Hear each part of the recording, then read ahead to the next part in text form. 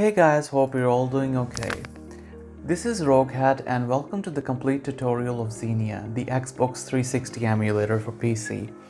This is going to be a detailed video about the emulator with included timestamps, however, I do recommend watching the entire video to get the full context. So without further ado, let's get started. For those of you who watched my other emulator guides, I divide the guide into different options for low-end PCs, high-end PCs, and then categorize those options as compatible, experimental for low-end or high-end PCs, and those for debugging purposes. For this emulator, it is completely different. It is such in an early stage that there isn't even proper implementation of controllers or options. Eventual support is planned, but right now you can only get a customized modded version of Xenia on GitHub which only supports a couple of games. Even after almost 8 years of development, it is still not at a level where you can run it on a low-end or mid-end PC. Maybe if you run a really lightweight game, but for heavier games, the emulator is nowhere close to being fully optimized, so sorry about that. But if you have a high-end PC, there is a big catalog of playable games.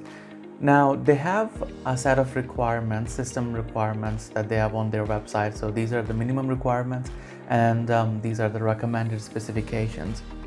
But again, as I mentioned, these are going to be uh, completely different depending on the game you play um, and the implementation and whether the game is in in-game state or playable state. So there are a lot of different factors that go into the playability of a game. Uh, that's why you have to keep that in mind. Now I will explain why is it in such an early stage in the next section. For a significant period of time in the 2000s specifically, consoles needed to be cheap and affordable, also accessible.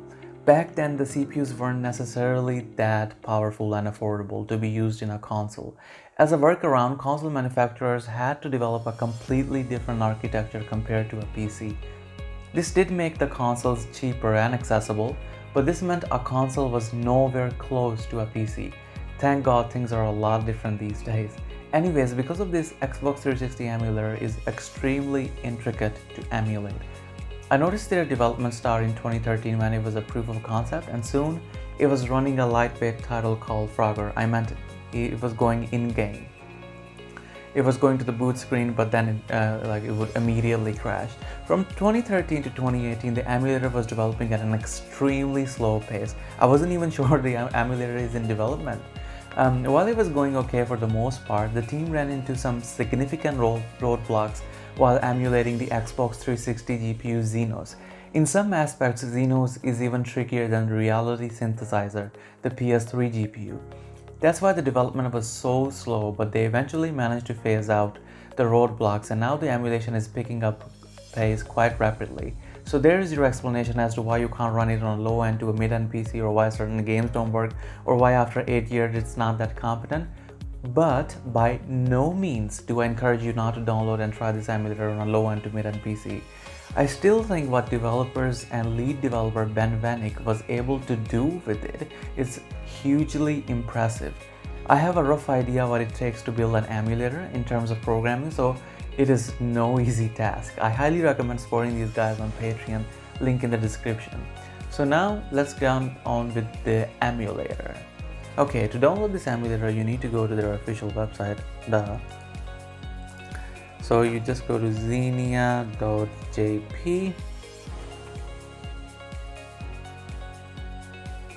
and pretty simple just press the download button and you can download the archive which is about 16 megabytes in size.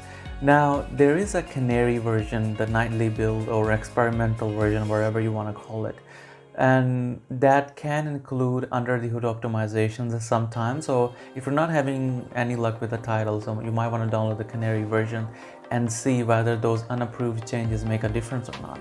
So it's totally up to you. Uh, but in my personal opinion i don't think that using canary is going to make much of a difference because the emulator is still not streamlined yet. So if you click download then we, we can just download the master build which is the stable release and then we can also download the canary version which is on github. So if you go to their github page you can actually download the canary version. If you just do a google search xenia canary version and then you can download it from here. Pretty simple pretty straightforward. And after downloading it just contains a couple of files and you don't have to install anything. These are pre-compiled files but I should mention that you should always have DirectX web setup the online one the latest one uh, updated graphic card drivers and all your Windows 10 drivers and Microsoft Visual C++ redistributables 2010 to 2019 x86 and x64 version. The reason is because most emulators run on the, C++ library so that's why it's a very essential part so you don't get any runtime errors. So now that we have downloaded we're just gonna extract it and I've already extracted this um, emulator right here. So I've extracted the Canary version in within the master build. So let's launch it and see what happens. Now I should warn you that this is not a feature-rich um, emulator by any means, at least not yet. Um, and also, it needs Vulkan. Um, it can also run on D3, D12, DirectX 12, but um, it does require Vulkan for those Red Dead Redemption um, and other heavier games. So it is nearly impossible to run it on low-end PC with heavier titles. OpenGL implementation requires accuracy, which in require um, optimization, which this emulator doesn't have it yet. Um, but be assured I will make a part 2 for all of the low-end PCs and mid-end PCs with my main focus. Um, I'm gonna keep testing the builds and keep an eye out for major improvements. And when I feel like it's ready to be implemented on a low-end PC, I will make that guide. Um, so now I'm going to explain the UI and for the graphical user interface we don't really have that many options. My last guide was on PPSSPP which was option rich um, but it will definitely get there soon so if you go into file we have open, close, pretty self-explanatory. We have show content directory if you want to see which directory that you want to open or which directory that you're currently working with. And then we have CPU options. These are all your CPU toggles, modes, and flags that you can use for various games. Um, depending on the state of a game, you can actually use these um, different options and see whether they make a difference or not. Um, I'll get into detail in just a little bit and in GPU we have trace frames, clear, runtime, cache, just two options. In window we have full screen and then in help we have build commit on GitHub so if you are a developer and you want to contribute to the project then by all means then we have website and then about so I'm actually curious about about what does it say for some reason it just couldn't go to about section that's fine. So that's pretty much it for the UI and before getting into these options I should mention that if you go onto the Xenia website they have a compatibility page.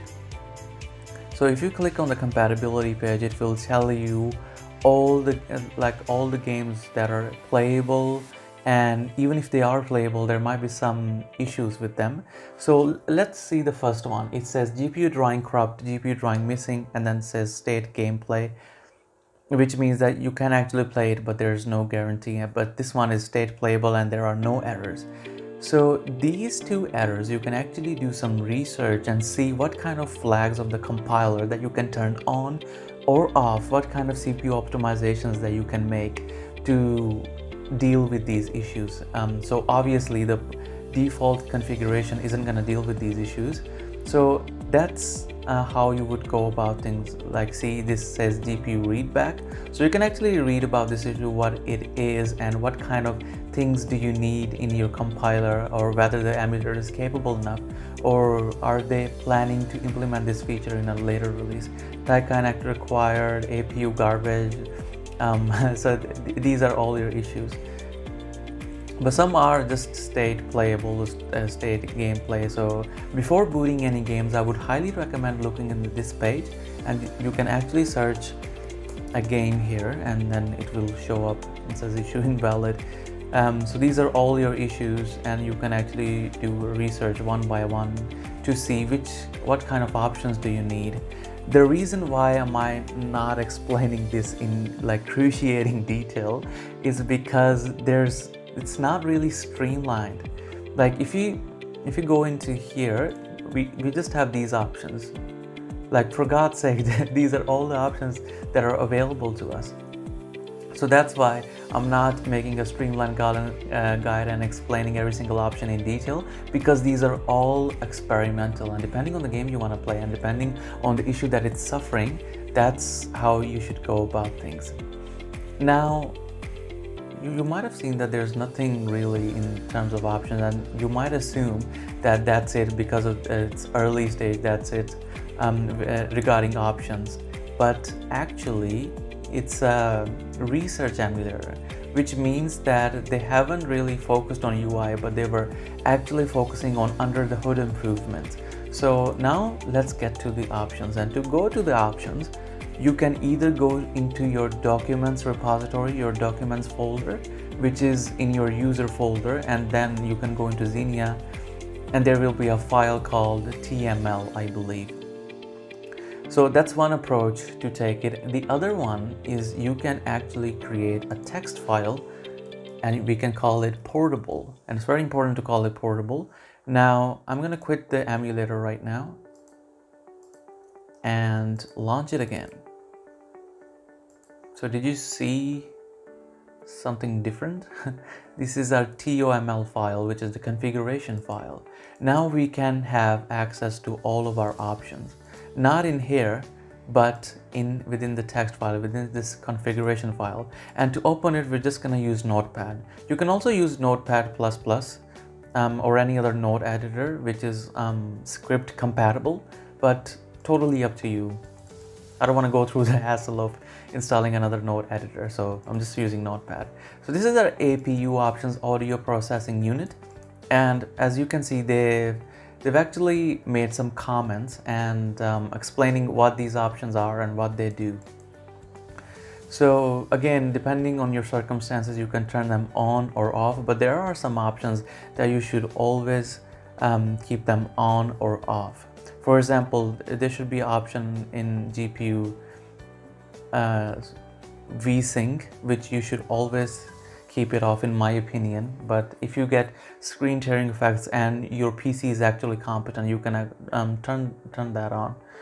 Uh, but in my case, it can take a toll on your performance. So these are all your options. We have audio, CPU,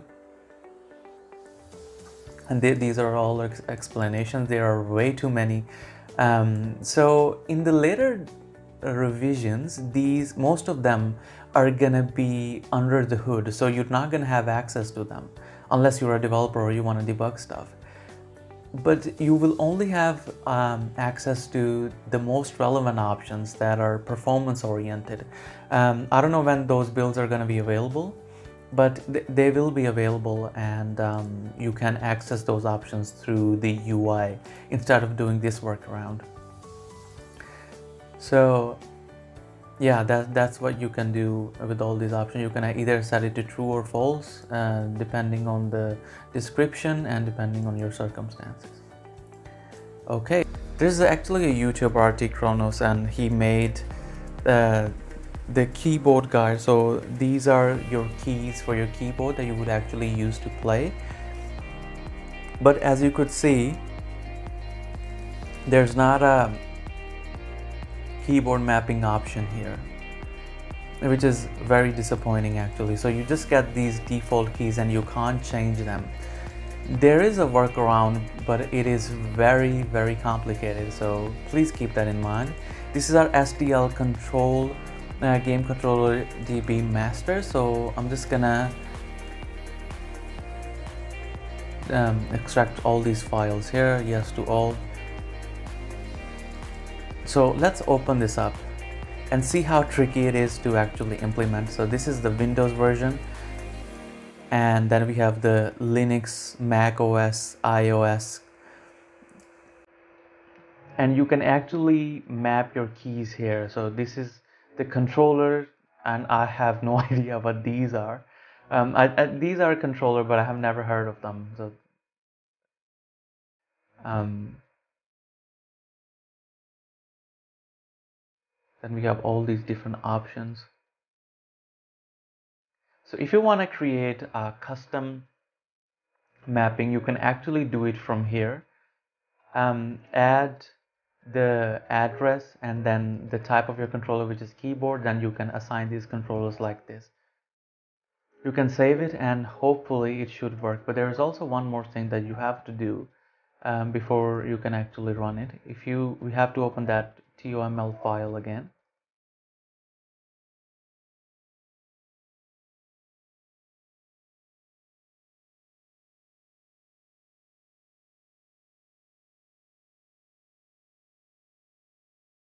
So if we scroll down and we go to HID,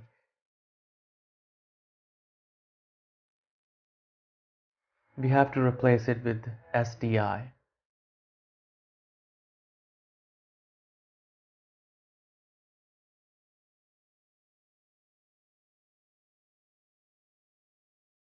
SDL. Yeah.